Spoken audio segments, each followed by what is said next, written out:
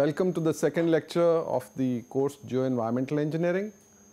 Uh, today we are going to look at uh, sources and impact of contamination. But let's just quickly go through what we did last time. So last time was an introductory lecture. Uh, we defined what is geoenvironmental engineering and we said it's a confluence of uh, uh, geotechnical engineering and environmental engineering dealing with contamination on the ground surface and beneath the ground surface. And we talked about how uh, the lectures for the next uh, 42 hours will be distributed and we said a bulk of the lectures will be on landfill design and uh, design of uh, uh, slurry ponds and the remaining would be on contaminated sites. We also looked at how the evaluation will be done and what are the uh, uh, textbooks which we will follow. So taking off from uh, where we ended last time, today let us look at sources and impact of contamination. So when I talk of sources of uh, and impact of contamination, do remember that I'm talking of, of contamination on the ground and subsurface contamination. I'm not discussing here contamination of water, contamination of air, which is what is traditionally done by the environmental engineers. So we look at what happens to contamination on the ground and contamination in the subsurface environment. So what are the sources of uh, contamination? Briefly, we had discussed this last time, and we are saying the sources of contamination are the solids and the liquids, which are either stored or transported on the ground or beneath the ground. So as long as a solid material or a liquid material is stored above the ground, it's a totally different thing. Why?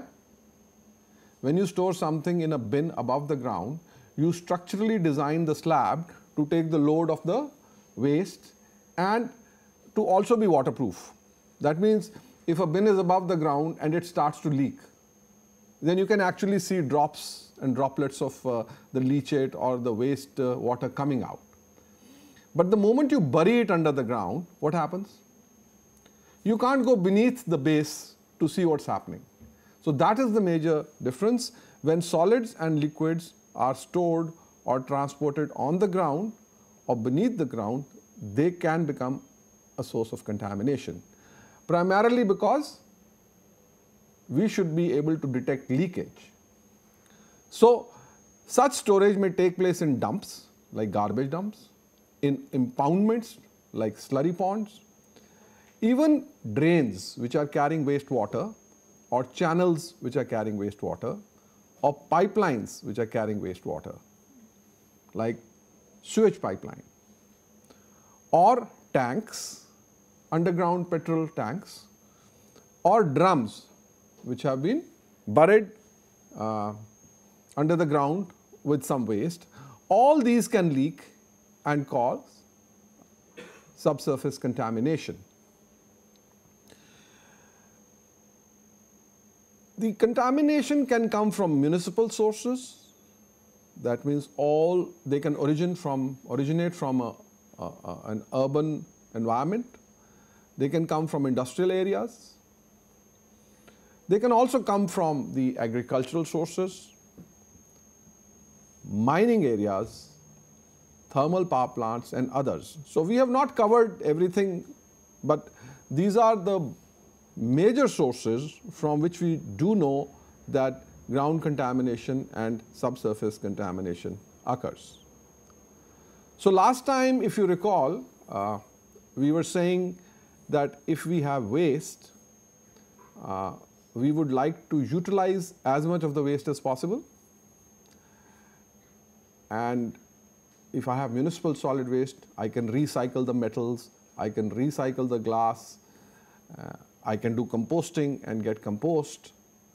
I can also, if there is energy in the waste in the form of plastics or paper or uh, rags of cloth, we can burn it to recover some energy.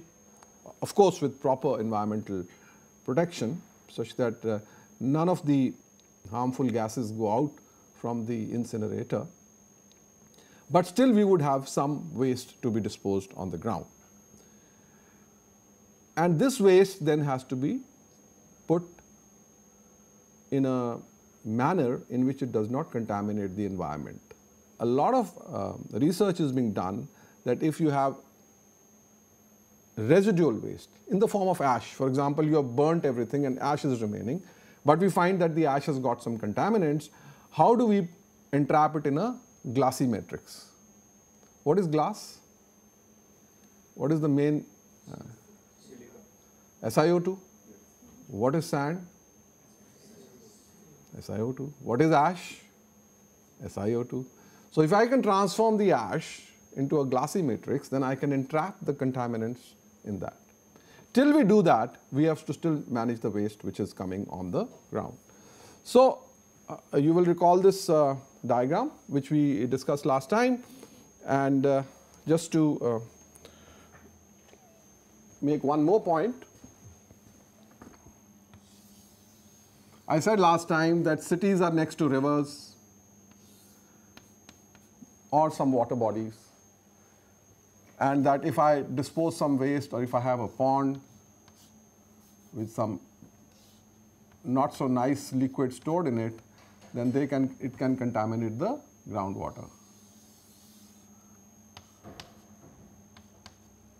And I also made a statement that uh, the groundwater flows towards the river. Is that a correct statement? Does the groundwater always flow towards the river? Well, let's look at the ground surface first. Within a watershed or within the catchment of the river, all the ground surface tends to go towards the river because the river is the lowest uh, point uh, topographically. So the sl ground slope is always going towards the river or towards the lake, which is a natural low-lying area.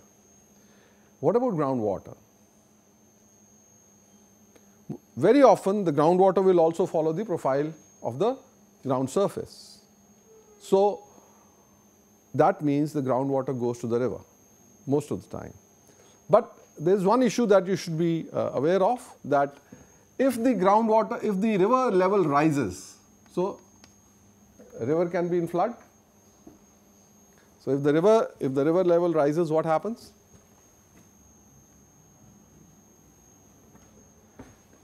So during the lean period, that means during the summer months, the water level may fall here and the water table would begin to get lowered as it discharges into the river. During the floods, a recharge takes place. That means the water level in the river becomes higher than the groundwater table outside. So in such cases, the water can flow in this direction as well. So do remember that flow takes place in both directions, but for bulk of the time, the groundwater table follows the surface of the land and flows into the river. so this I think is depicted here uh, where the river has risen during the floods and during those periods the groundwater is flowing towards the land and the groundwater table is being recharged by the river. But most of the time it is flowing into the river. So what we have said now is that subsurface contamination or ground contamination is not only on account of the solid waste or the liquid waste in a pond or a solid waste, but if you have buried some drums, if there are some pipelines, if there are some underground storage tanks or any facilities which are underground, they can cause groundwater contamination because most of them leak. And the problem is we are not able to detect the leakage or monitor it. We are not able to detect the leakage or monitor it. So let's look at uh, municipal sources. What are the municipal sources which will uh, contribute to uh, ground contamination or subsurface contamination? We've already talked about garbage dumps or municipal solid waste dumps or unlined sanitary landfills. We will uh, better define this term later, but sanitary landfills are waste dumps in which the waste is covered with soil on a daily basis. So these are the old concept that you put the waste on the ground and cover it with soil and it gives a good appearance, it keeps the pests and rodents away, it reduces the smell. But if the landfill is not having a liner at the bottom or impermeable strata at the bottom, it can still cause contamination. Sometimes municipal wastewater or sewage is applied to the land. This also can cause subsurface contamination or the sewage sludge coming out of the sewage treatment plant that is also spread on the ground. So, these are also sources of subsurface contamination. Septic tanks where the sewerage system has not been developed, we are uh, cleaning them every once so often, but they are also a source and leaking sewer lines.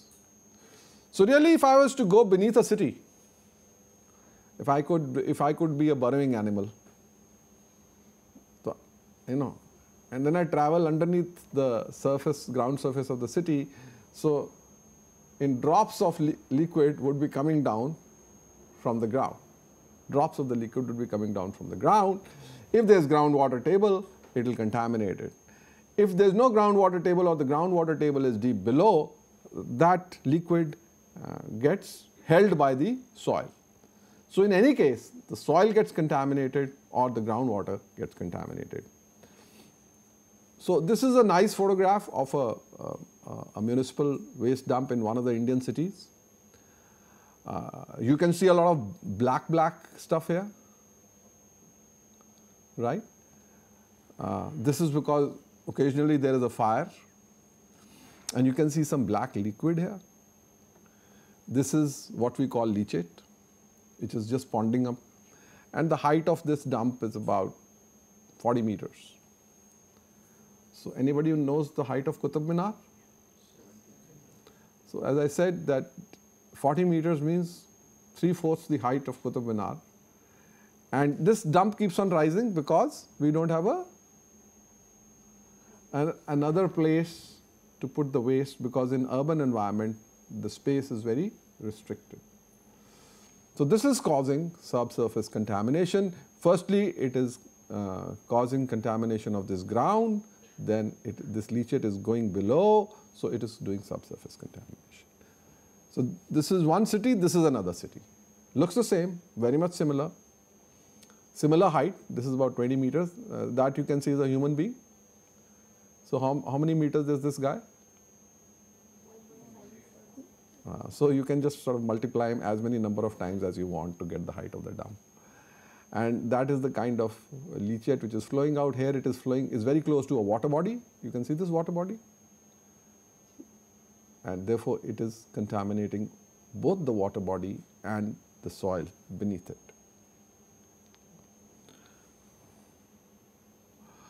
So uh, I'll come to industrial sources later, but what we are saying is that as long as I start to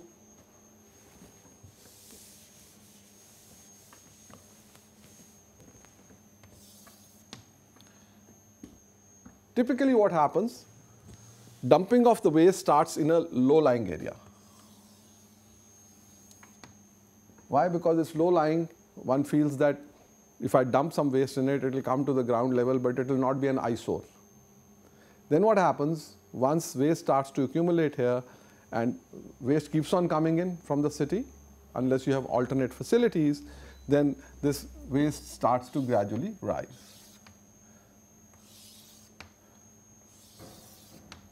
So this may be the history of a waste dump. And if I have rain, Since it was a low-lying area, the water will pond up at the bottom, right? You'll have leachate. But there are many other uh, things associated with the dump. It will give you bad odor Uh, those of you who are aware that uh, what happened recently in Bombay, the Deonar dump caught fire, so there was a lot of smoke that in that region the schools had to be shut for 10 days because a lot of smoke was emanating from the dump. So the dump may cause lots of problems. It can be, leachate is one of them, bad smell is another.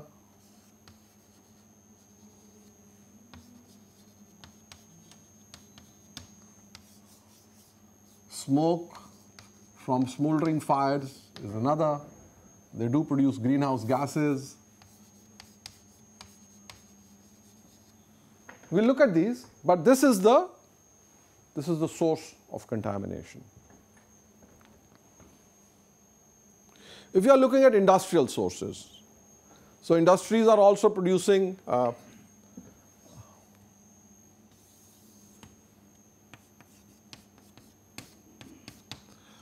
they are also producing liquid waste, they are producing gaseous waste and they are producing solid waste. And as I have already told you, the more I restrain the liquid waste and the gaseous waste, the more both of it comes to the ground along with the solid waste which is coming out because gaseous waste will catch the ash and bring it to the ground, liquid waste will go to an effluent treatment plant and it will give the sludge, all of them becomes solid waste. Now, typically in urban environments you earmark an industrial area so that you know you are able to promote the industry. So in a city you will have an industrial area. So that means a lot of industry is concentrated in that area. So one of the ways of managing the waste of the industrial area is to set up common facilities. Common effluent treatment plant. That means from all the industries let the effluent come to a common treatment plant and it can be treated there. The problem is the complexity. If in an industrial area you have one type of industry, say textile industry, or you have oil based industry, then you can treat the effluents together. But if you have heterogeneous industries, somebody is making pesticides, somebody is doing dyeing, color, somebody is doing chrome plating, then you have waste which is of very different nature and most of the effluent treatment plants, common effluent treatment plants have not worked well in India in industrial areas which have got different types of industries. So just like you try and manage the effluent in a common facility, industrial areas also tend to manage their waste now in a common facility called a TSDF. And it's basically a storage and disposal facility storage and disposal facility or a central storage and disposal facility. It, the TSDF stands for, so if I send it to a common facility,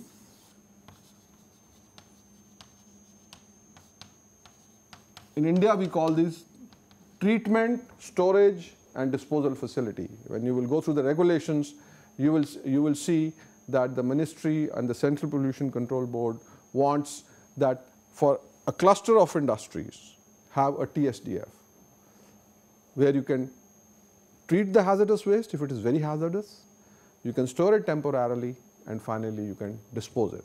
You store it, if you can find a reuse for it, you can send the waste to them. So, uh, what we find here is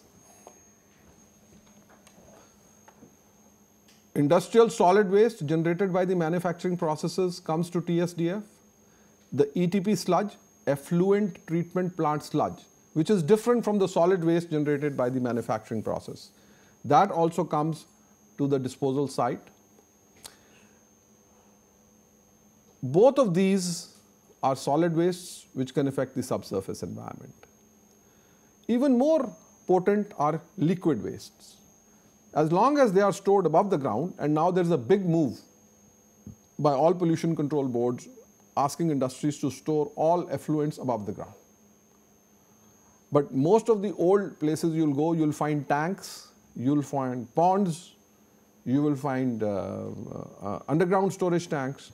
So liquid wastewater or liquid processing water, even cooling water, when it is stored in ponds, impoundments and underground tanks, this can slowly leach into the ground. And of course, leaking pipelines and tanks.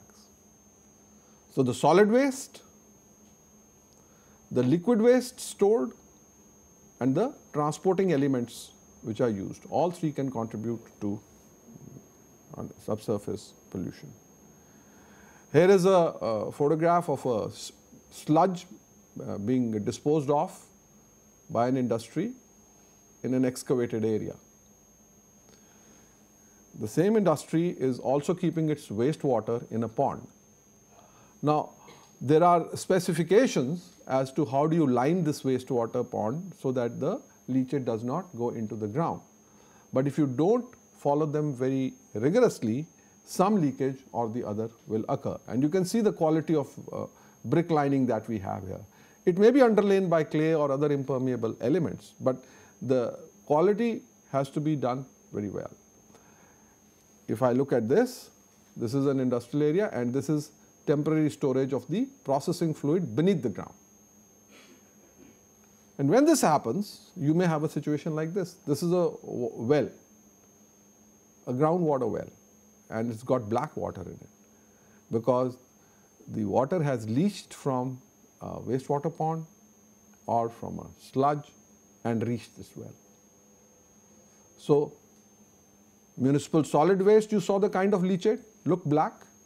So, the learning is that we have a lot of black liquid around right. Occasionally it may be light brown, occasionally it may be dark brown and occasionally it may be black. But you get a lot of color and you get and you know you are drinking off your tube well. You have even uh, uh, a very light tea colored liquid coming, the tube well will be closed. You won't, you won't drink because you know that's got a contaminant in it. Even if it has got a harmless co color. In one of the industries we went, it was just like sugar, you know. Caramelized sugar is brown. I don't know whether you understand the word caramelized sugar, brown sugar. So actually the color was coming from caramelized sugar. So if you drank it, nothing would happen to you. But it's brown, water is brown. I can't serve it to my guests. I can't drink it any which way whatsoever. The other source, which uh, is a diffuse source, uh, uh, please understand, is agriculture. Diffuse means because we apply uh, um, fertilizers, soil amendments, pesticides to a large area. So as long as these are within limits, that means there is no excess fertilizer, there are no excess soil amendments and there are no excess pesticides. They are supposed to remain on the crops and within the boundary.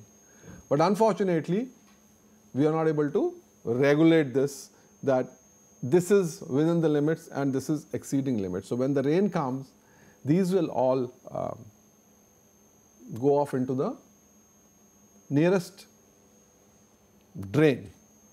And once they are in the drain, which is always full of water, they will reach the subsurface.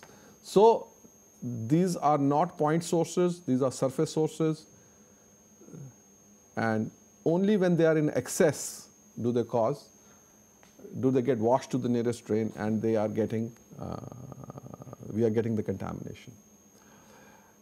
In many uh, agricultural uh, practices, you have animal husbandry, for example, milk producing units, meat producing units. So, there also the processing as well as the dead animals as well as the droppings of the animals.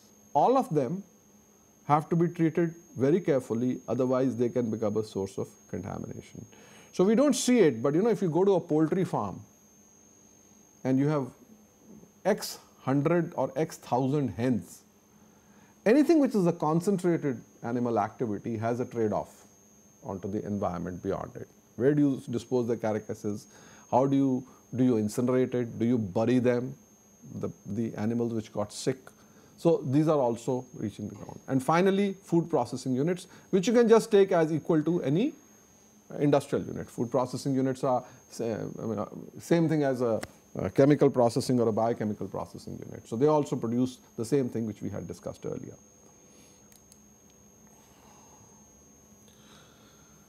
The next uh, uh, uh, source which is important is the mining source.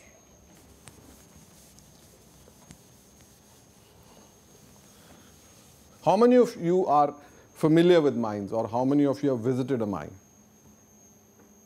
Okay, which mine? Uh, was it an open mine or a closed, a deep below? Open. So, mm, what kind of a size did it have? If I was to make you sit on an aeroplane and ask you to look down, so they have excavated something na, from the ground. So, what is the size of the excavation in plan? 2 kilometers in length and how much in width? Is that big a pit and how deep is it?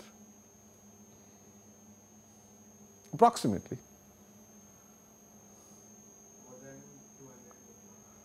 More than 200 meters or 100 meters. Okay, so here is somebody who has visited in Dhanbad a coal mine, which if you sit on an aeroplane, you will find that its plan size is 1 kilometer into 2 kilometers, and at the deepest point, it may be uh, more than 100 meters deep. So, what are we doing there? We are digging out first the earth at the top and then you come to a coal seam and we dig out the coal. Is that what's happening? Right? And we are using this coal and we are sending it to thermal power plant. For example, uh, maybe it's coming to our Badarpur thermal power plant in Delhi. So, from Dhanbad, you get coal, you put it in a train, you send it to Delhi. At Badarpur power station, we burn the coal and what happens? Ash is generated. We all get electricity. Ash is generated. Ash does not go back to Dhanbad to fill up that cavity that we have created and uh, the ash accumulates. So there are two issues here. One is what are we doing at the mining site and the second is what are we doing at the thermal power plant site. So the mining site can always say that I am sending my coal to Delhi, I am not producing any waste. But does the process of excavation cause a problem in your mind? Do you think uh, if I make a cavity which is say 1 kilometer by 1 kilometer and 100 meters deep, what is your immediate concern? Please remember that to reach the coal, I may have first dug out the soil and the rock for about 50 meters. Is that correct? Or was the coal seam more at the surface? Was the coal deep below or at the surface? Right. So I may have removed soil which was 50 to 100 meters. So what do you think is, are the environmental issues here?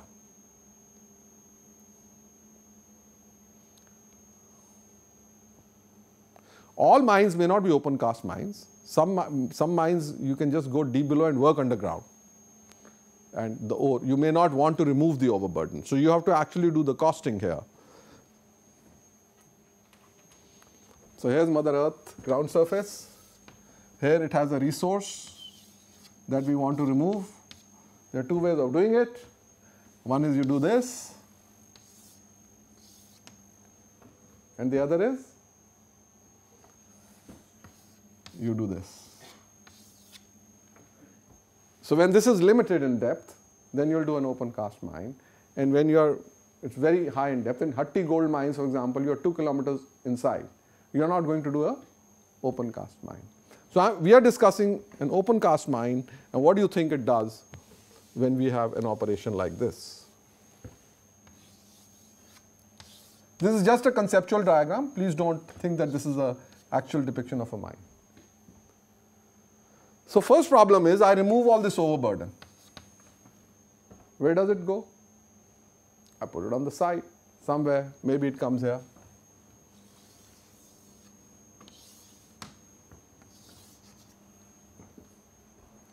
So this is called overburden.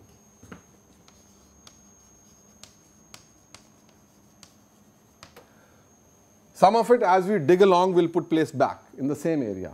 But we'll have a large cavity. So what is happening? One is we are removing overburden. Okay. Is there anything which is going to happen when you make a deep excavation like this? Unstable slopes. Unstable slopes, so we will make them flatter slope stability problem, he says when you are going to go 100 meters below, you want to excavate it at 1 is to 1. Firstly, it will be rock, so you can do steep slopes, but if you can't, we can make them flatter. What is the one major environmental change other than the fact that you have used 2 kilometers by 1 kilometer area and used it for bringing out coal, which we need, what is the one major change that you have caused? Proximity of groundwater. Uh, what do you mean by proximity of groundwater? So if the groundwater was at 20 meter depth, what did you do when you did a 100 meter excavation? You lowered the groundwater. If you lower the groundwater, what will happen all around? Suppose the groundwater was here. We will not go into the technology of how you lowered it, but I have lowered the groundwater. When I lower the groundwater, what will happen? Maybe this is the drawdown curve. I'll, uh, I'll be pumping out the water no, all the time. So the region, region will witness a depletion in the groundwater. So all the farmers, I'm not talking of the one kilometer by two kilometer area. Now I'm talking about the 10 kilometers on either side of that great cavity that you've got. But the water will go into that cavity. So the land becomes, gets affected because the groundwater goes down. So ideally what should we be doing? Ideally we should be maintaining the groundwater and maybe we should be uh, from an environmental perspective, remove the water and put back the water so that this part of the water is not affected. That's what happens when the metro does excavation in Delhi. It removes the water from the excavated portion, but beyond 50 meters, it cannot deplete the groundwater. So there are extraction wells, and then there are injection wells at 50 meters. Why? Because if you deplete the groundwater, the buildings may begin to settle. So basically, we need to keep the uh, groundwater at its original position, which is a, a fairly complex techno technological activity. So there are two, two things which are happening. An overburden is being placed and groundwater is being lowered. So mine overburden is one problem huge mounds of mine overburden are placed, mountains. But this is mountains of crushed and excavated material. So if you have mountain of crushed and excavated material, dust will fly. When the rain will come, the water will carry away the suspended particles and go and deposit it in a nearby lake or a nearby river, wherever the water is going. So these, these overburdened mounds have a problem. And then as I said, in, in the case of a coal mine, the coal is virtually in a very pure form, right? But if you have a metal mine, let me say I'm taking out zinc. So the ore may have only 5% zinc.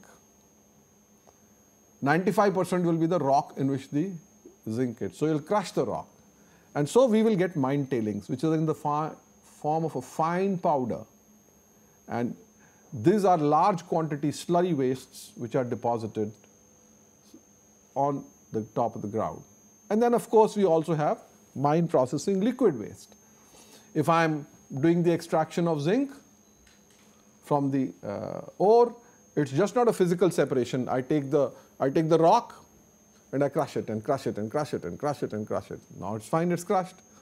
What is the specific gravity of zinc and what is the specific gravity of rock. Specific gravity of soil. Specific gravity of rock. Same, same. Uh, we are talking of the specific gravity of the solid matrix 2.65, 2.7, 2.8. Specific gravity of metals 5, 6, 7. So I have separate, I have crushed and crushed and I have two sets of materials, one is heavier, one is lighter. I'm not saying just by crushing you can separate them. No, I can't separate the very fine particles. The very fine particle has got 80% zinc and 20% rock still sticking to it. Then you do some other process, a chemical process, a separation process. So that will give you mine processing liquid waste.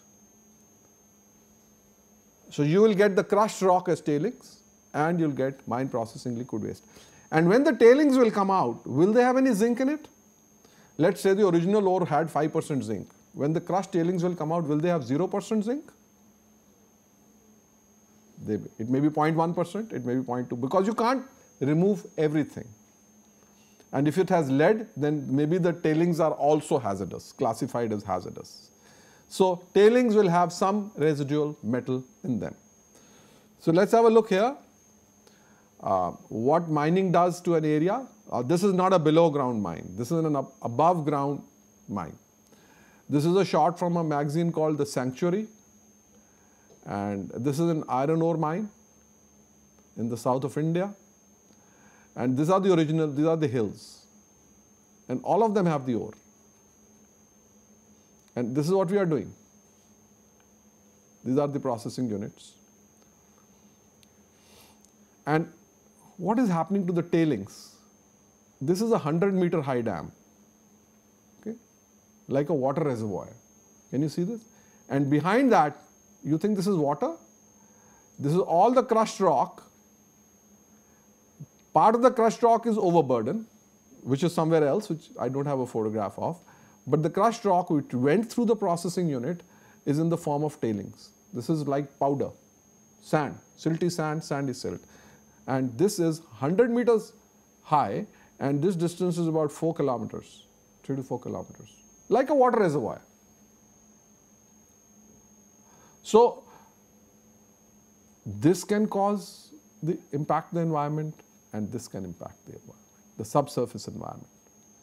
As geotechnical and geoenvironmental engineers, we want to always bring back the ground to its original condition. I can't, of course, bring back all the ore here, but I would like that this looks like this eventually. Isn't that what I want to do? And that is the whole topic of uh, rehabilitation of mines, which we are not going to get into, which we are not going to get into. But some of the problems associated with this, because this is all a geotechnical design, the design of the dam, how do you raise the dam, that we will be handling in this course. This is another tailings dam. This is about 40 meters high, and that is the uh, lead zinc tailings behind the dam. Then uh, another source of uh, a lot of solid waste is our thermal power plants. They produce a lot of ash, I told you, coal ash. So somewhere here is the thermal power plant. It's not in the photograph here, but this is the ash pond created. Looks very similar to the tailings which we saw here, na? Yeah. And slurry pipelines bring in the uh, ash. Uh, they're coming out here. This is the embankment, and this is the water which is then being decanted. So we have about 80 to 100 such ponds in the country with several million tons of ash uh, accumulated behind them. and then you can have other sources of ground contamination, spills. You have a tanker which is carrying something, it, it has an accident, it spills something.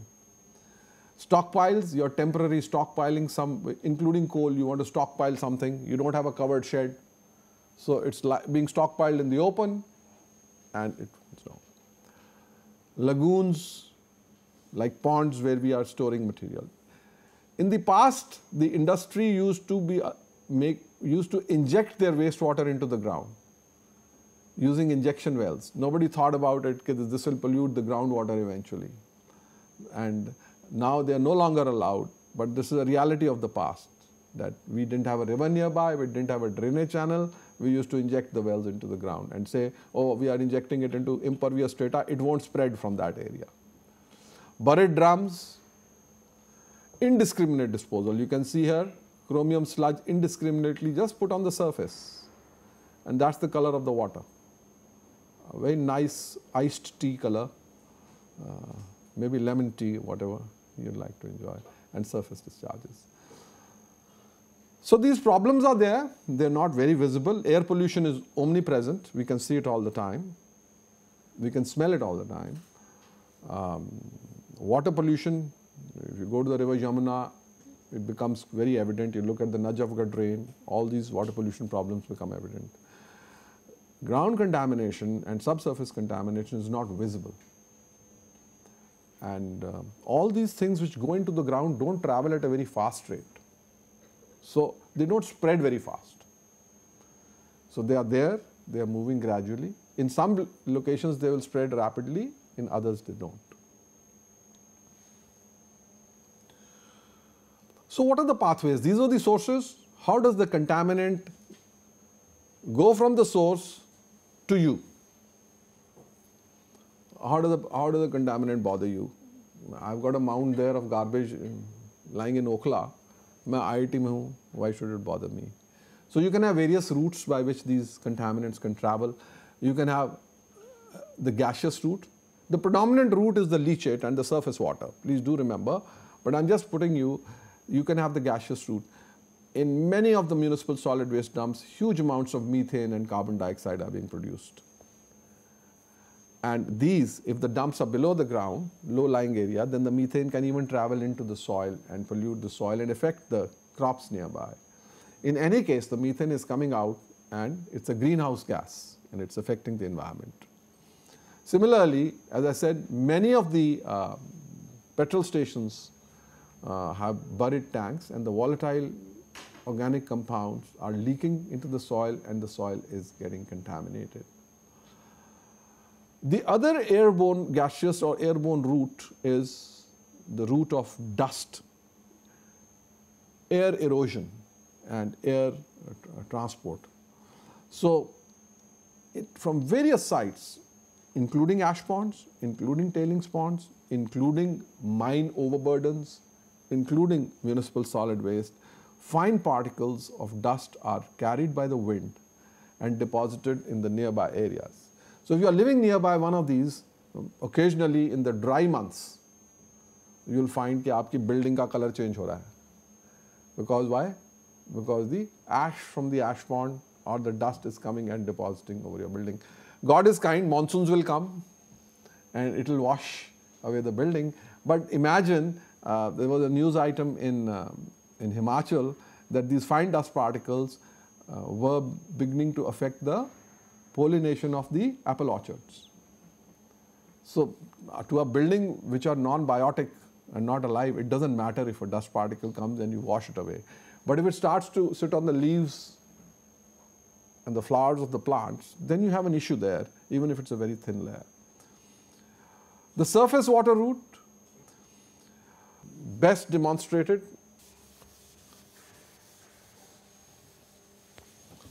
Many cities have lakes and the lakes are also their drinking water resource. So, uh, God forbid, if you have not located your dump dumping site properly, whatever, industrial waste or municipal waste or and you have something here or something underground, I don't know, solid or liquid. The tendency is that the ground is sloping towards the lake. And will you get surface uh, surface uh, contamination or will you get groundwater contamination here? What kind of contamination do you suspect? I think I've gone outside the limit, but nevertheless. If this is clay, if the soil is clay, what will happen? When the rain comes, will the water go into the soil or will it travel along the slope of the ground? Right. So if it is clay, then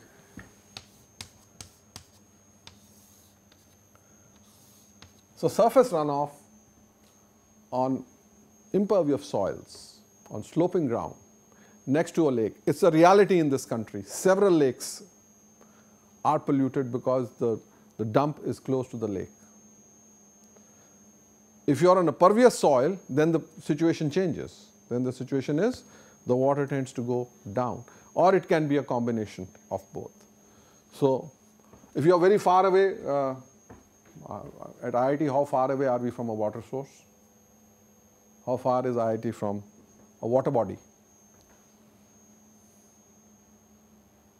Uh, do we have a lake nearby?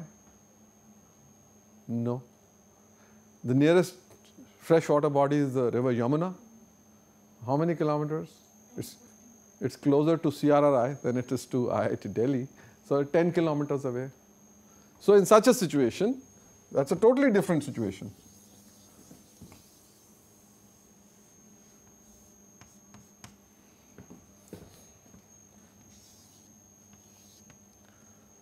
What is likely to happen? What kind of soil are we sitting on in Delhi? It's alluvial, sandy silt, silty sand. It's not pure silt. We call it Delhi silt sometimes, erroneously. But if you were to give it an engineering classification, it is silty sand, sandy silt. So is it a permeable soil or an impervious soil? So the answer is right there, staring at you in the face, that if you are sitting on pervious soil and if the groundwater is not deep below, then your root is. And God forbid if you have a tube well or a pump here which extracts the water, then you're going to receive it. So, two similar dumps but in different situations. So, let's look at the pathways once again with this context. You can have the surface water route. The leachate and the, uh, and the leaking liquids can travel along the ground surface. Hopefully, before they reach, if the source is very far away, it will evaporate. Because you do have evaporation all the time, or you can have the groundwater route, or it can be both. So, either way, here also the ground is going to be sloping towards, so the groundwater table is going towards the river Yamuna. You can also have a physical uh, erosion route. So, uh, a gaseous route, a liquid route, and a physical erosion route. That means, uh, the first question is if I put any uh, waste on the ground, solid waste on the ground in the form of a powder, will it go into the soil on its own? Well, I put talcum powder on gravel on bouldery deposit, let's do the extremes first. What is the size of boulders?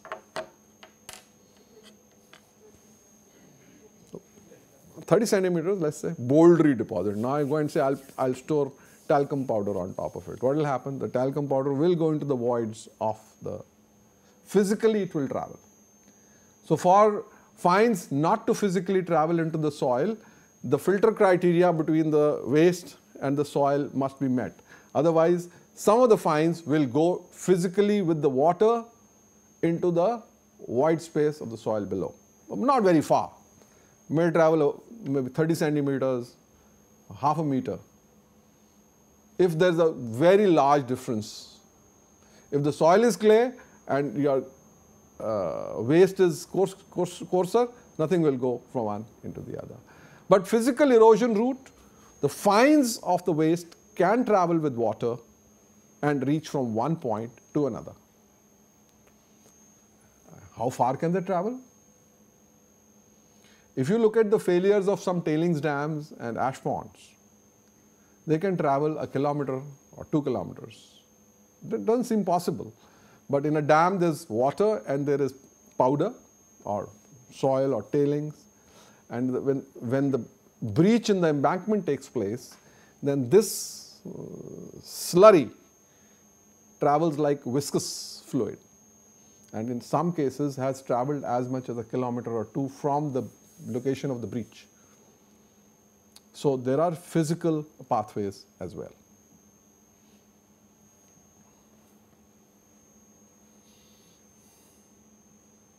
So gaseous routes, airborne routes, surface water route, groundwater route and physical erosion pathways.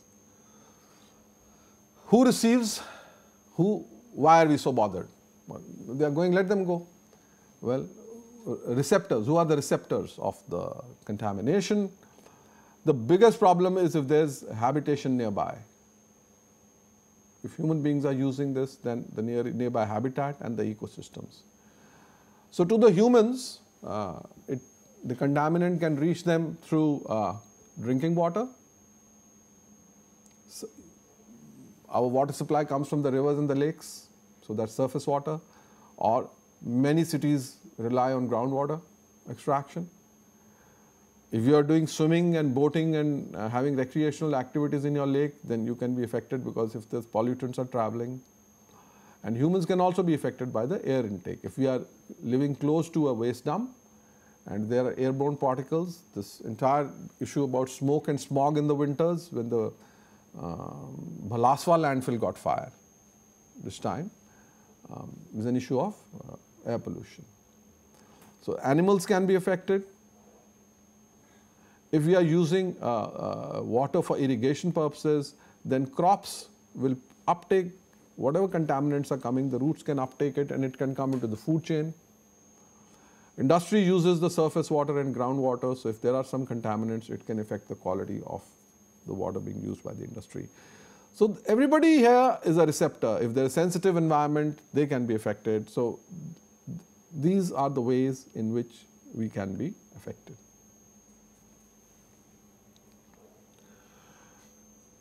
And let me see. Uh, I'll come back, but I'd like to say the following. What about the impact? Simply stated, the larger the source, the bigger the problem. The shorter the pathway, the more quickly it can reach you, and the more the receptors. Uh, this photograph, for example, shows you that there is a waste dump here. It's a, it's a, it's a Google, uh, Google Earth shot, and there are people living all around it. These are houses some sheds, some houses, some residential area. So obviously, if, if anything is coming out from this, it's going to impact this area. A simple thing like bad odor, it can be affecting everybody around this area. So let me uh, try and articulate this a little better. So uh, if I'm saying larger the source,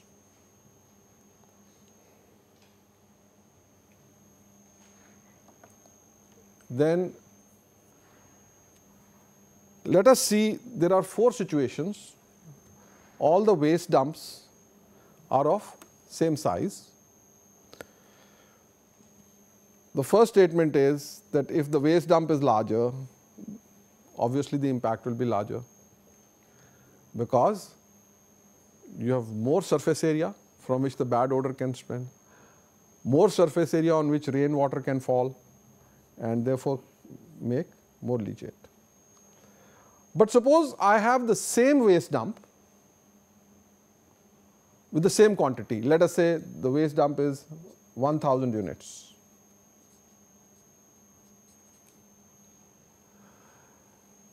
However, its display, the way it is being placed is different. So, purely from leachate point of view, which source is going to have a greater impact? Yeah, the one which is spread more because the rainfall will be let us say 100 mm. It will have to be multiplied by the surface area over which the water is falling. Now, if the same waste dump is coming down in height but is being spread more, then the area over which it is spread is more and quite clearly the leachate which will be formed by this dump will have greater impact.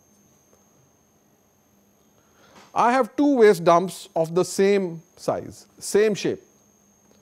Which source is going to give me more trouble? Well, the question is, is this in Rajasthan or is it in Bombay? If it's in Rajasthan, the total water which is going to fall on it is very less because Rajasthan is an arid area, it doesn't get a lot of rain. If it's in Bombay, it's going to get more rain.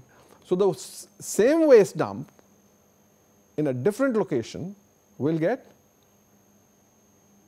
different impacts. So the same, so quantity is not the issue, the quantity, the surface area, the amount of rain. So in, in if in Rajasthan you are having uh, this much rain, in Bombay, you will have So, this will produce more leachate. And finally, a waste dump which is partly covered, suppose the waste dump is still operational, but it is partly covered with an impervious cover. Quantity of waste is the same, but I have an impervious cover. So, obviously, a waste dump which has been partly covered with soil will have lesser impact than a waste dump which is not covered at all. So, this is the way in which the size of the source impacts uh, the uh, environment. What about the pathway? Same waste dump in four locations and I am only looking at groundwater contamination now. As I said, if I have clay,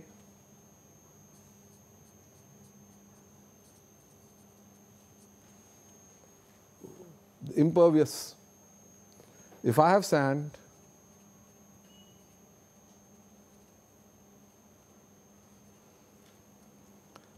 here, but here to the ground. So, clay and sand same size, the source is the same, but the pathway is different. Two locations, in one case the groundwater uh, extraction tube well is here and in another location it is. So, the source is further away from this well. So, the pathway is longer. So, this pathway is longer, this pathway is shorter. If my waste dump is in rock, how will I treat it? Is it impervious or pervious? For quite some time, uh, we know that rocks are impervious or they are pervious. Yeah. So, the issue is always about fractures. If there are fractures, joints, fissures, are they pervious or impervious? Are they more pervious than clay? Yes. Are they more pervious than sand? Depends on the size of the fractures, but some of them can have very large size fractures. If you have rock on the surface, it can also be inclined. Hill slope, gentle slope. So, the moment you have an inclined slope, your hydraulic gradient is up. So, instead of the ground being like this, you have let us say a ground like this and let us say this is your waste dump same same quantity, but now the rock is got fissures, cracks. And what happens? Rain falls, it gets into these cracks and then travels along these cracks.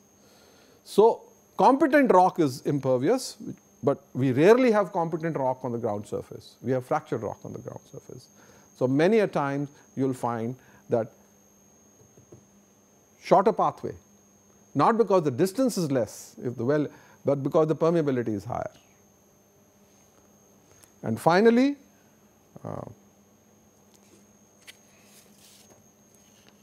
we talked about uh, source, we talked about pathway, let us talk about receptors. Same uh, same size of the dump, same soil conditions underneath. This dump is sitting on barren land.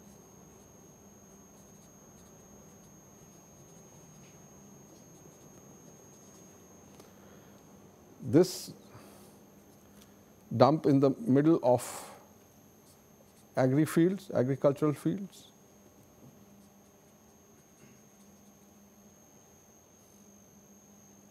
this dump toward outskirts of a city.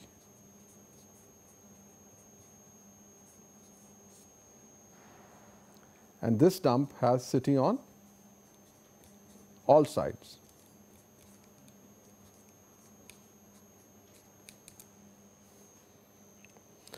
Same dump, same size, same subsoil, same rain, but look at the receptors.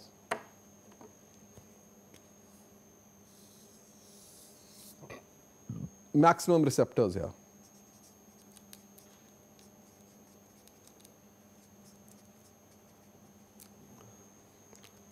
Larger the source, shorter the pathway, more the receptors, greater the impact.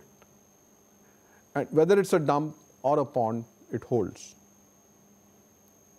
So, if you look at it historically, waste dumps or waste ponds were first kept outside the cities, far away, 2 to 3 kilometers. The cities continued to grow because population doesn't stop. They grow vertically and they grow horizontally. And then the cities reached the dumps. And then they went around the dumps. And the dumps became part of the city. And for that I go back to the slide which I was showing you. If I say, if I look at this slide, here is uh, the statement larger the source, shorter the pathway, more the receptors, greater the impact. If I look at the slide, you see the landfill here and the houses all around it.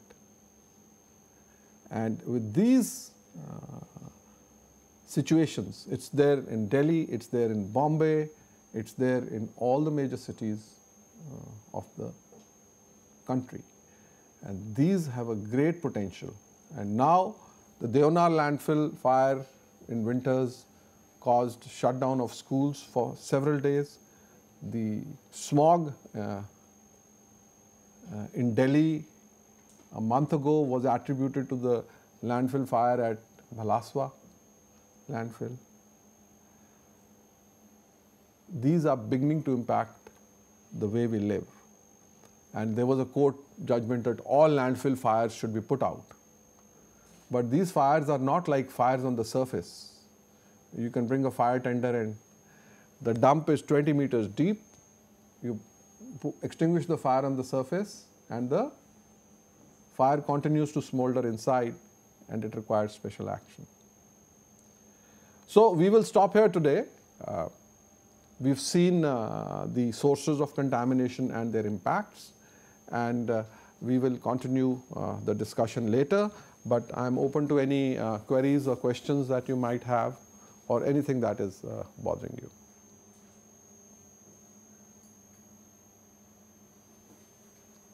Any issue, any problem which you have felt in your city relating to dumps or, or even ponds or any contamination issues.